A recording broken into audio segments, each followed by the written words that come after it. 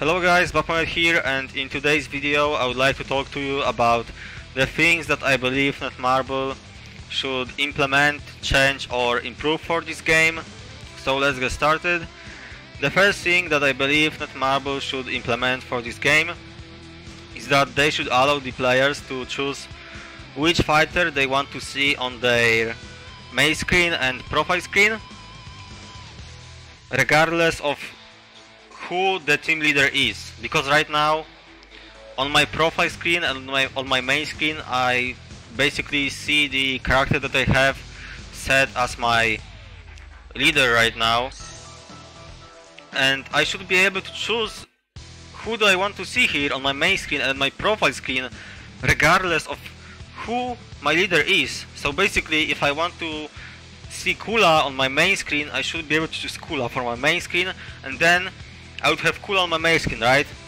But if I wouldn't want Kula on my profile screen then I should be able to choose someone else. Like for example I could have Geese on my profile and Kula on my main screen. A lot of other gacha games do it and have this feature so it's not something that it's hard to implement. Now the next thing that I believe they should implement is that they should allow the player to choose who they want to who they want to share as the supporters to their friends. So I should be able to choose which fighter is my main supporter and I also should be able to choose which fighter which fighter do I want to share as my red element support, as my yellow element support and so on. I'm I know that you understand what I'm what am I talking about for sure because a lot of other gacha games do it as well. For example, in Fate Grand Order you can do it. So once again, nothing hard to implement. Now the next thing that I believe they should implement for this game is that when you go to the fighter section, to the filter setting, I should be able to choose I should be able to filter my fighters by the alphabetical order, so there should be an option to sort from A to Z and uh, there also should be an option to filter by type so basically, if I would check to filter, check check it to filter by type, I would see all of the balance fighter at the top.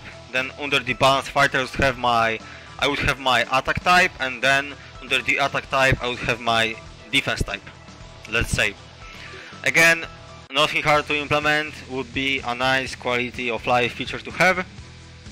Now another thing that they should add is when you go to the fighter section once again there should be a button which uh, which says show only owned fighters and if it if it would be checked in like if it would if it would have a check mark then you would see only the fighters that you have right now in your possession just like now but if you would uncheck mark it then you will also be able to see the fighters that you don't have. And the reason why it will be amazing is because then I wouldn't have to go to my codex every single time I want to see the new the, the fighters that I don't have and what they do. And the new fighters, I wouldn't have to go there all the time. I could just do it from my fighter section instead, you know? So once again, that would be a great quality of life feature to have. The next thing that they should improve on, improve on in my opinion is that they should improve how, how free-to-play friendly this game is. Because right now this game is not very free-to-play friendly, it's mostly only friendly to the huge spenders because the packages that you buy in this game just give you amazing in-game value. But if you're a free-to-play or a small spender then this game doesn't give too many rubies once you complete the story. And also the banners are coming out way too fast.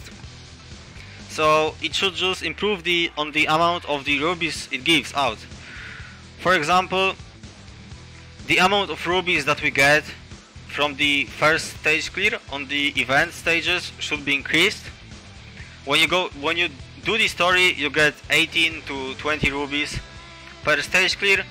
But for example for this collab event you only get 10 rubies per stage clear. So it's awful.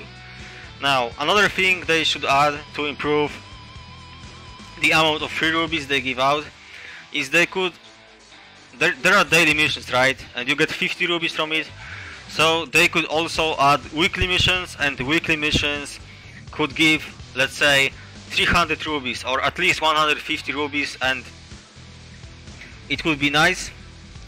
The last thing that they should improve when it comes to giving out rubies is that when you go to the daily check-in login day 4 I believe gives 50 rubies or 100 if it doesn't give 100 day 4 should give 100 rubies instead of 50 and day 7 should give 500 instead of 300 and those are all of the changes that I would make to make this game a little bit more free-to-play friendly when it comes to giving out free rubies because trust me I play a lot of other gacha games and gacha games that I play give way more free rubies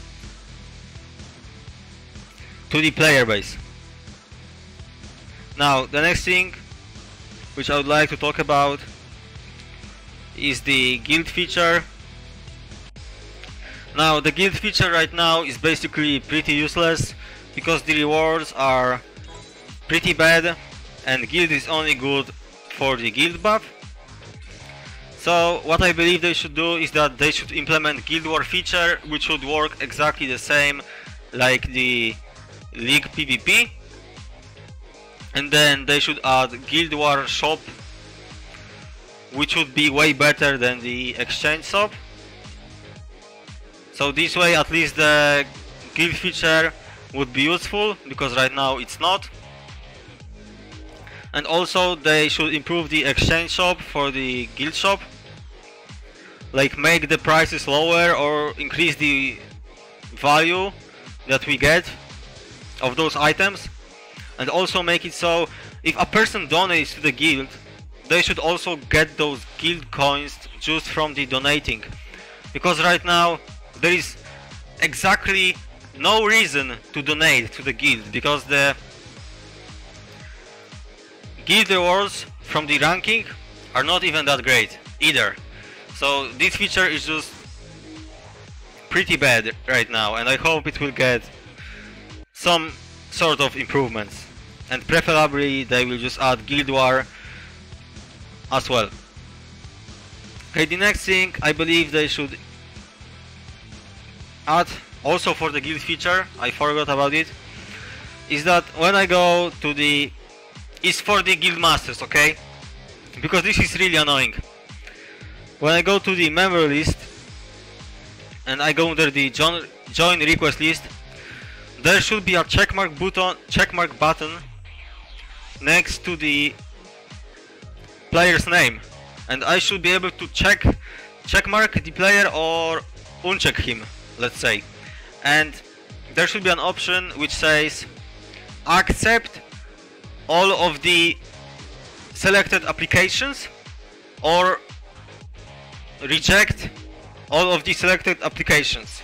And this way I wouldn't have to click one by one to refuse the applications like for accepting the applications is okay but refusing the applications takes forever so let me at least refuse multiple applications at the same time. This would be a really good quality of life feature for the guild leaders. And it would be really simple to implement. Okay, next thing on the list is that when you go this is the wrong section. When you go to the arena and regardless of if you do arena or league match the autoplay should be turned off always turned off. The autoplay should be only on if I for example go to the arena and go into the battle and then during the battle if I would set the autoplay to be on then it should be on. But the way it works right now is that for example you do PvE right? And you have autoplay on.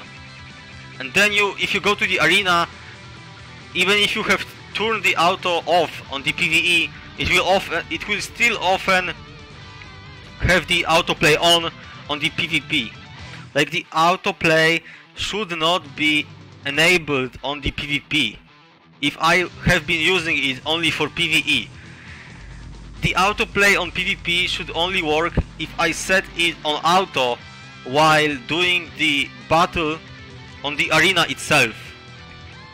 I'm sure that you guys understand what what did I want to say here and again very simple feature to implement and I hope to not even to implement a very simple feature to fix so I hope they will fix it soon because it's very annoying when you enter the arena and you find out that you are on auto battle enabled and you can't even disable it.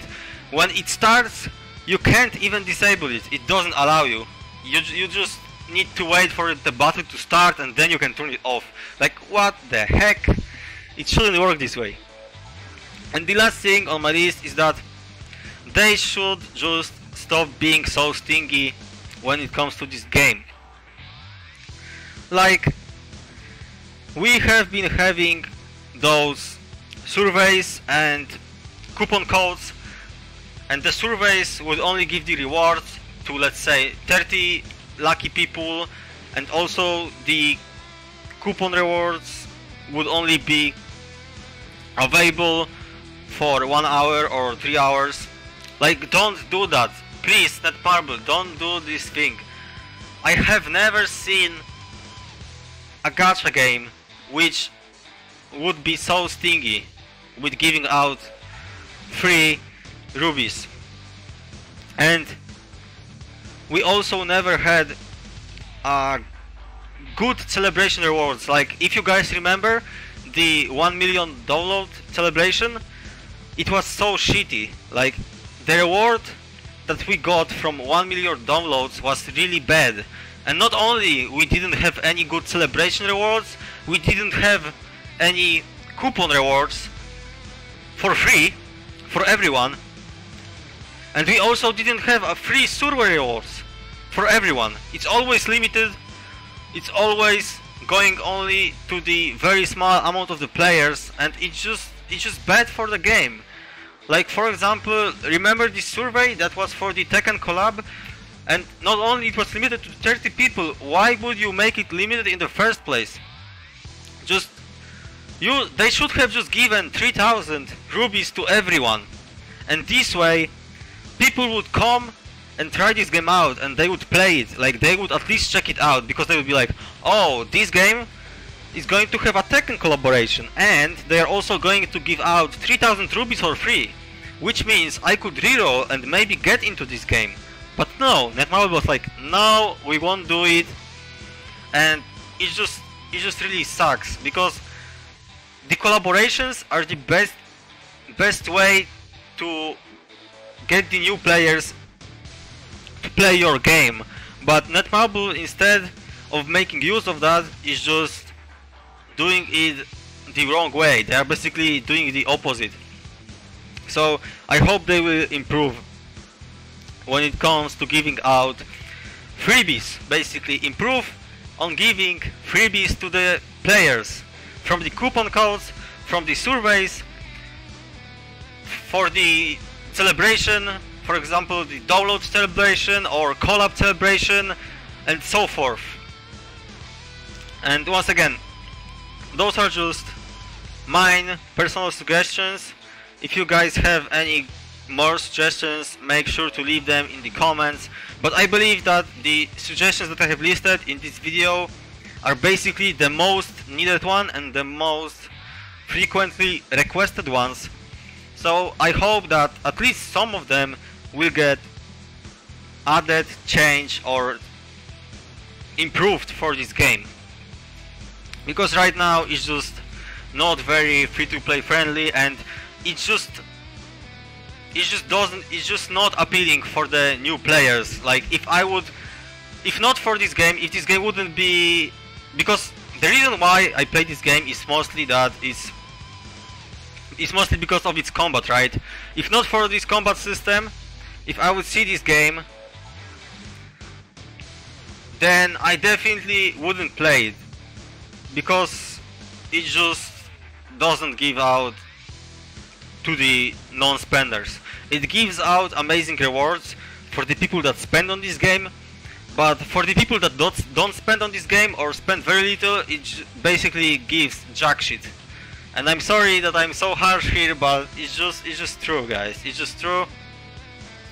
Once again, I have been playing a lot of gacha games in my life, and this game is just very stingy.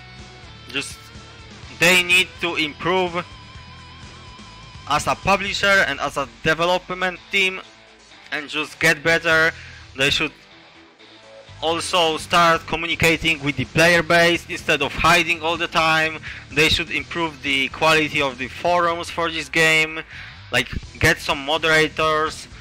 I don't know, interact with the player base on the Discord servers, like anything. Like right now they are just absent. They're like whatever. Like they they don't just they don't just care.